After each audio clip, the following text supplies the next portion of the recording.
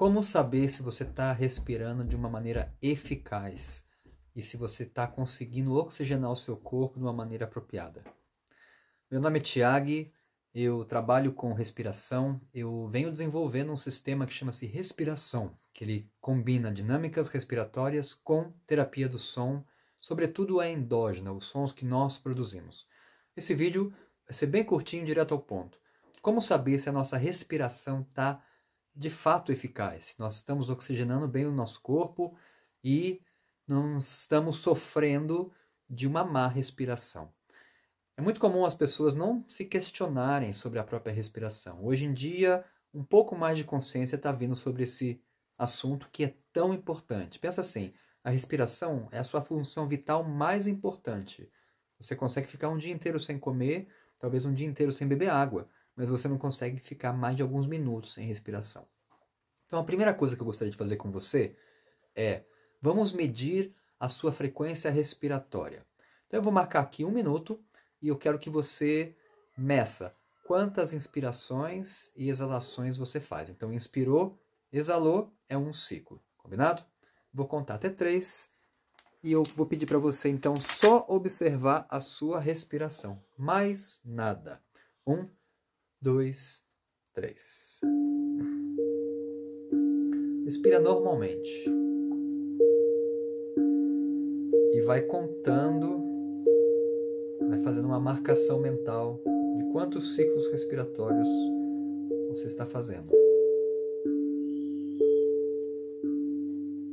Percebe que só o fato de você estar observando a sua respiração, ela já fica mais lenta. Atento para não perder a conta.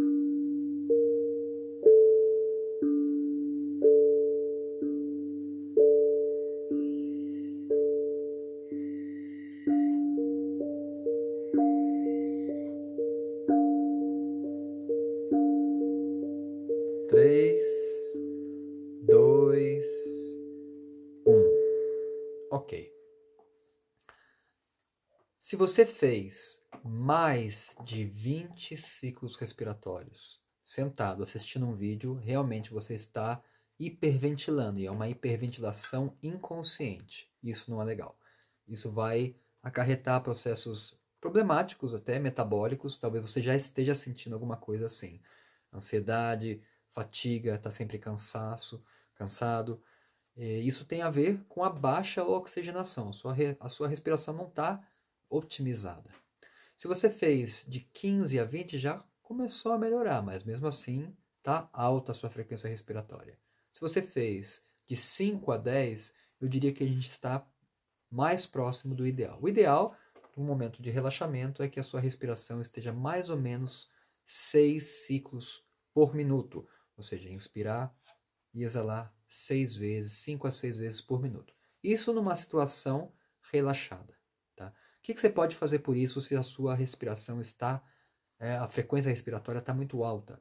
Você pode experimentar exalar o ar por mais tempo. Então você inspira normalmente e exala por mais tempo. Vamos fazer um exercício de 40 segundos. Esse vídeo não vai passar de 5 minutos, porque o nosso tempo é muito precioso, não é isso? Então, respira junto comigo aqui. Eu vou combinando com vocês aqui, eu vou guiando, tá? Eu vou contar até três, a gente solta todo o ar pela boca. Depois só vamos trabalhar a inspiração nasal. Três, dois, um. Solta o ar pela boca. Esvazia bem. Agora vem comigo. Três, dois, um. Inspira profundo. Solta pelo nariz. Solta. Solta. Inspira profundo. Soltou. Continua soltando. Inspira.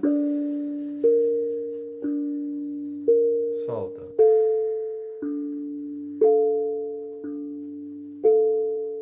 A última. Inspira profundo.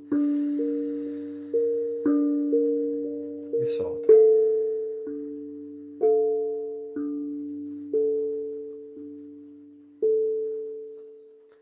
Bom, num preciso nem falar que o nosso ciclo respiratório ficou menor, porque ao soltar o ar mais longo que a inspiração, no caso foi o dobro do tempo, a sua respiração fica mais longa. E detalhe, quando você exala mais do que inspira, você tende a relaxar.